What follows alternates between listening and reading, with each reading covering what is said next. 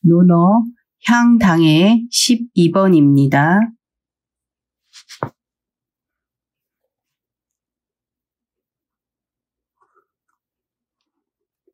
구, 마국간 구예요.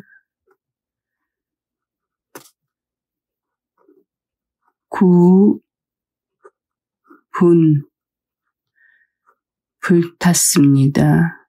마국간이, 마국간이 불탔다. 마국간에 불이 났다. 자, 공자 선생님이 퇴, 퇴근했다. 물러서 왔다. 조, 조정에서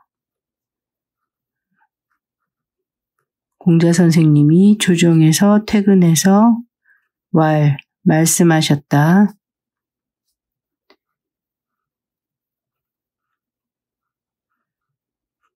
상 다칠 상이죠. 상인 사람이 다쳤니? 상인호 사람은 사람이 다쳤느냐? 이렇게 말씀하셨어요. 불,